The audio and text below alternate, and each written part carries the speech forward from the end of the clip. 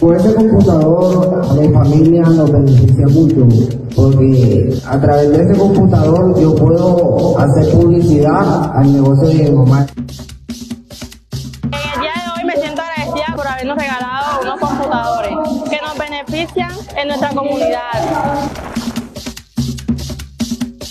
A nosotros como estudiantes nos beneficia mucho para prepararnos para la universidad y poder armar un sustento para nuestras familias.